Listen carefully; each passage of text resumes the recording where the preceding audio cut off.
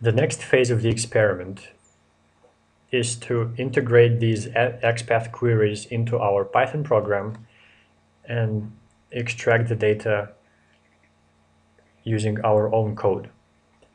To achieve that, I will be using a module called LXML. It is uh, free and open source. Uh, you can go to lxml.de.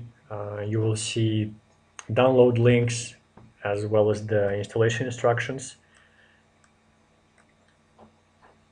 I won't cover the installation at this point. I will just assume that uh,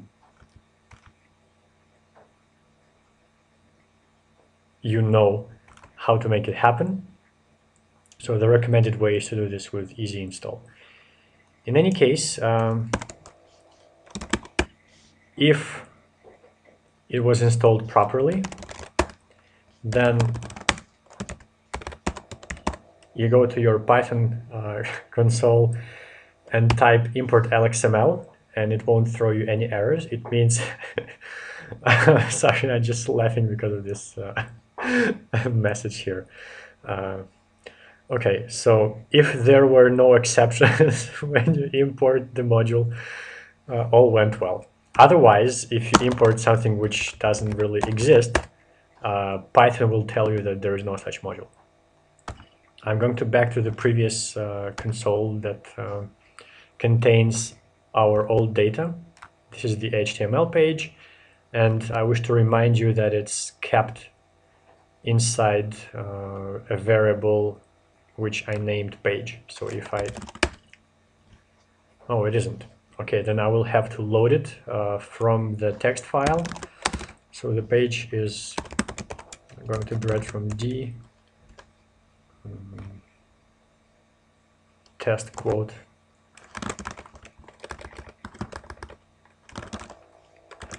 Quote.txt read. Okay so there we go. Um, this is the text of our HTML page, not very easy to read. I'm going to import LXML. It works as expected. Mm -hmm. And now let's actually put it to some uh, use. So the first step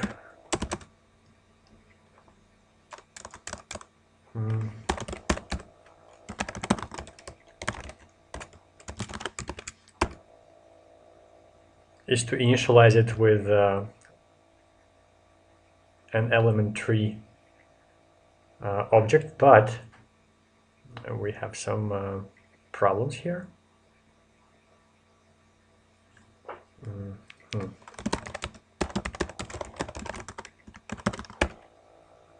Okay, let's try that again. I'm going to call my object x and feed it with the page I got at the input. Okay, all went well. Uh, now let's see how to run one of those queries. You do that this way, using a function called path, and at the input you give it the XPath query. So I'm just going to copy and paste it from here.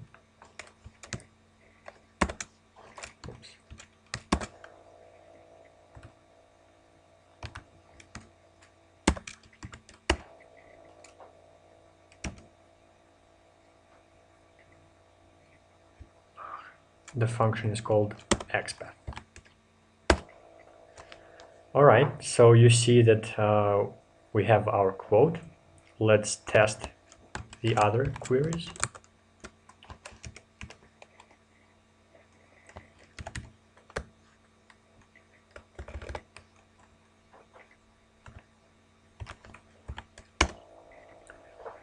We have a syntax problem here. Uh -huh. And it happens because we have these quotes here. and typically we use quotes uh, for strings.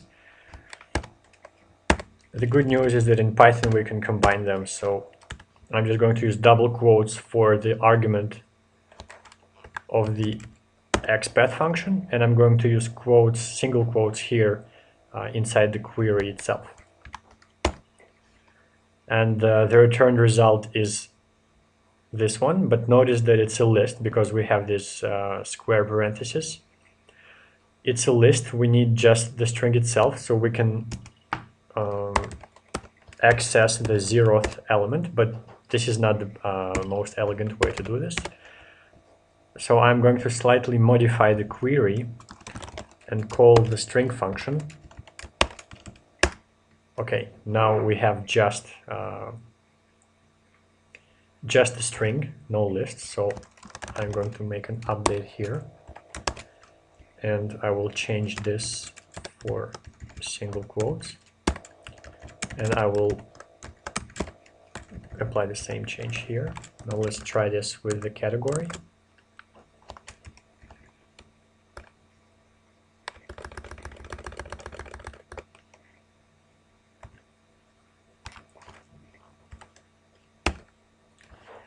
It works, but again, it gave us a list, so we're going to have to wrap this into the string function of xpath.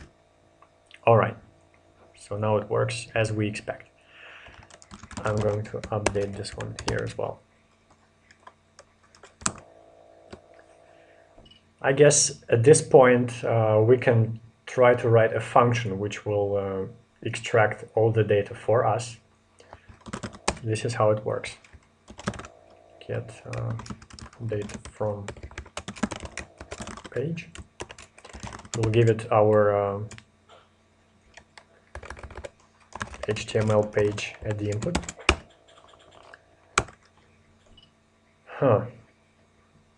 All right, so the quote um, will be set to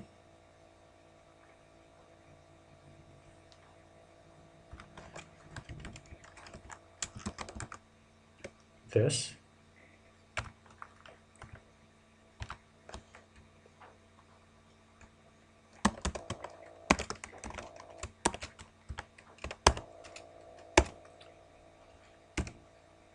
Hmm.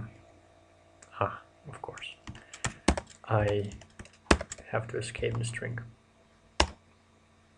But now I have to go back to my function definition. Okay, here we go.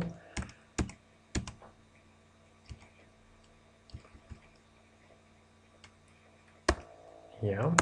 Now the author is going to be xpath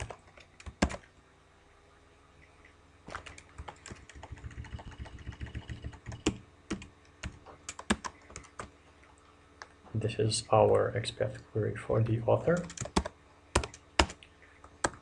And the category is x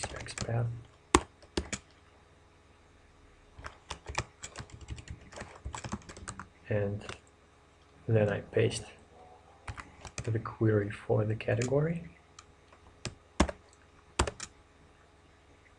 Okay. Here we go.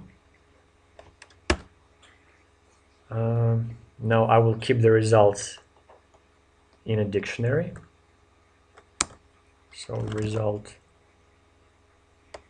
will be an empty dictionary.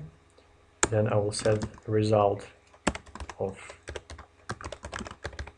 quote. Is quote the result of author. Is author and the result for uh, category is category and then return result. Okay now I'm going to test this function this way, get data from page and give it our page. Uh, here we go. Uh, the category is love, uh, the quote is blah blah blah blah blah, and the author is Marcel Proust. Uh, basically, we have our dictionary, uh, which contains all the data we need. Now, uh, we're going to take a short break. and continue in the other video uh, where I will take this function and use it as a module, uh, as a piece of a puzzle to build a bigger program which automates more of our actions. See you soon.